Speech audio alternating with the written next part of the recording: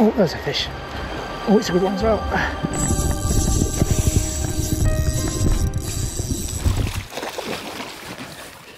In the net. In the net, guys. Yes. That's what we're talking about. Hi guys, I thought I'd do a bit of an explanation on why uh, you hear a lot on my channel, short sessions. Uh, and you never hear any anything of getting up at five o'clock in the morning to get there first light or even stop till uh, it goes dark.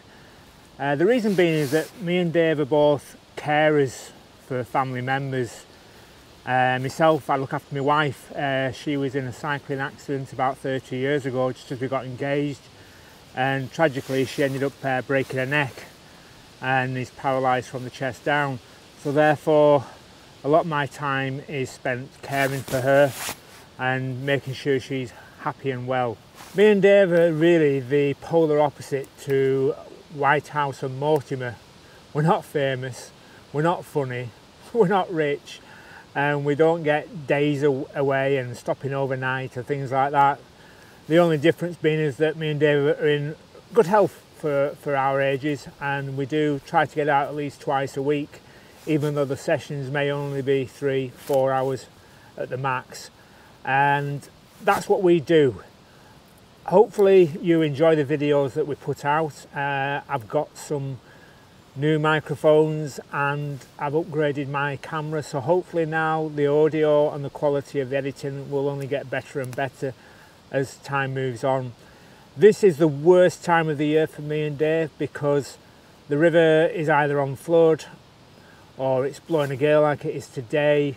Uh, our lure fishing is a bit different from a lot of uh, what people do on other rivers and systems. Uh, we very, very rarely actually get to spot a fish that we uh, catch. It's usually searching uh, the rivers, knowing where they're likely to hold up. We fish on big rivers uh, for the pike, perch and chub, and then a smaller one for the trout. But it is isn't really crystal clear and there's no glides. So it, it is more of you've got to think where the fish are going to be rather than actually spotting them before you cast to them. But we do all right and that's one thing that uh, Mortimer and Whitehouse don't have on us. We actually catch probably a hell of a lot more fish than they do even though they spend a lot more time out there. Anyway exploration over. Going to get back out now. I'm after the pint today uh, I catch it is another thing. Uh, hope you enjoy and fingers crossed that something uh, lands in my net before the end of this session. I'm not sure how the wind is picking up on this at the moment but it is blowing an absolute hooligan. I'm hoping that my microphone is still not too distorted but I shall uh, find out when I get back and put this up.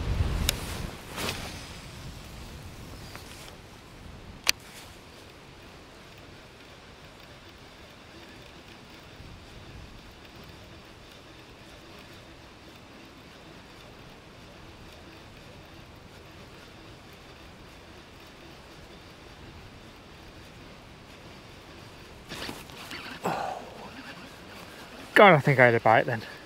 Bugger. Let's hope it comes back.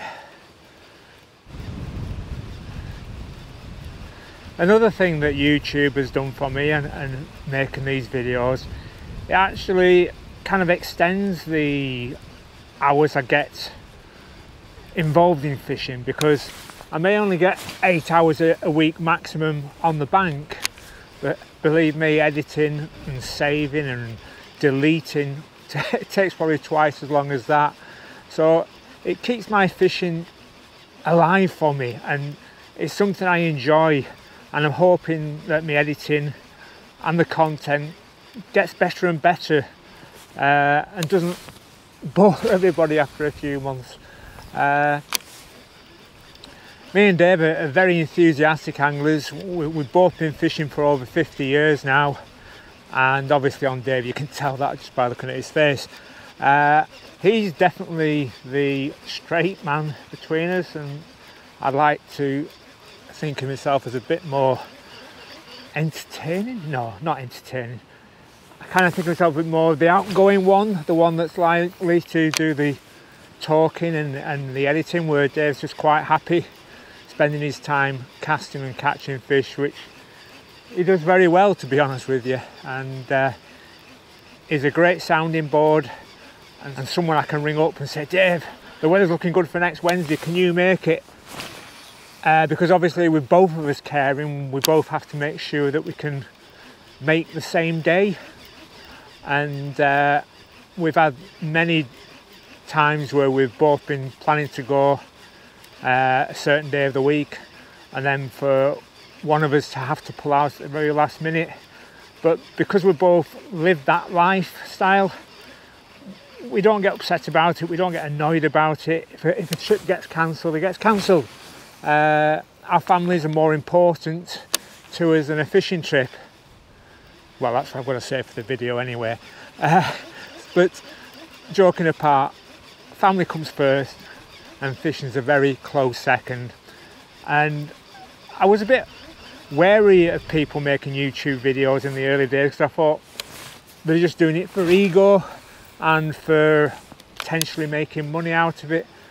And I thought to myself, well, they're giving a lot of spots away where people who put the hours in and the time in to find the spots themselves, uh, and then it gets blown because someone's turned up and caught a few fish. But with social media nowadays, whether it's Facebook, Instagram, uh, WhatsApp, whatever, everyone knows about everything that's caught nowadays. So I don't feel as concerned about that as I used to do. But it keeps me feeling that I'm alive and fishing even when I'm still at home. And if I do make a, a nice clip and there's a couple of fish to grace the net during the day, it gives me a sense of pride. And sometimes that's all you can ask for. Bit of happiness, a bit of pride in what you do. I always like to do things well, whether it's caring, fishing, or now making better quality editing on the on the YouTube videos. Uh, I'm not on a PC yet. I'm just using a iPad to do the editing and free software, so anyone can do it. Just takes a bit of time, a bit of patience, and uh, hopefully learn from your mistakes. I wish the pike could hurry up and take a bite, though. I must admit it's getting. Uh, getting to a point where I'm thinking, are they going to actually turn on today? But if when you've got three hours, you fish those three hours and you fish them hard, because one cast can make the difference between a great day and a bad day. So you've got to keep on casting.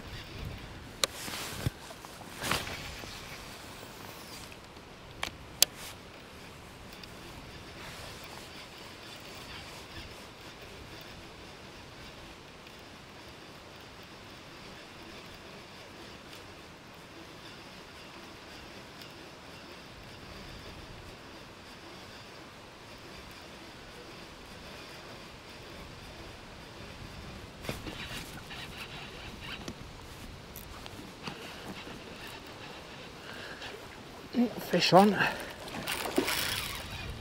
Fish on.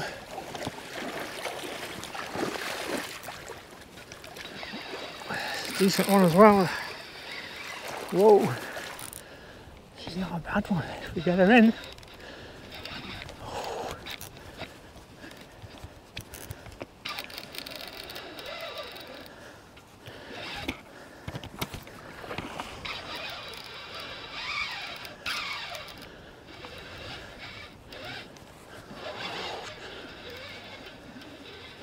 Don't one of those head shakes.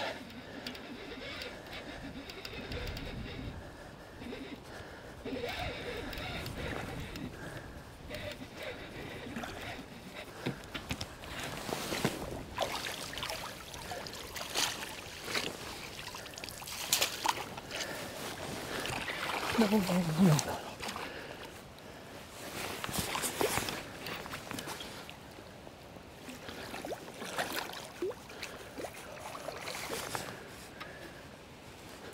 Come on, turn my baby.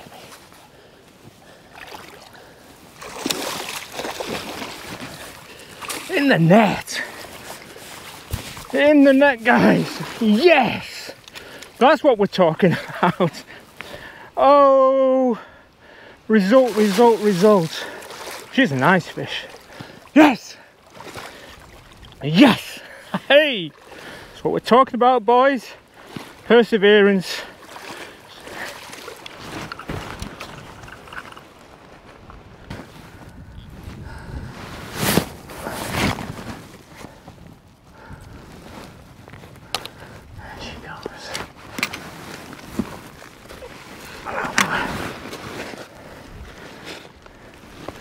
There you go guys. That's what we're here for. 12 and a half pound river pike in all the beauty. Quick measure on her. 90 centimetres.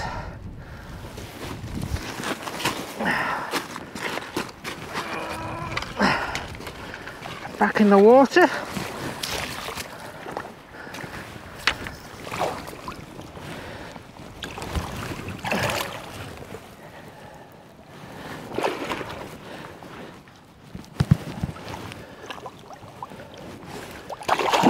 Off she goes. Get it. Yes. Result at last, lads. 12 and a half pound. And a cut thumb. Right guys, that's it for today. Uh, I'm actually recording this the following day because, do you know I told you about I was going to learn by my mistakes? Well, after I'd caught that nice uh, 12 and a half pound pike and put it back, I changed my battery and switched off my uh, microphone. So for the rest of the session, there was no audio whatsoever.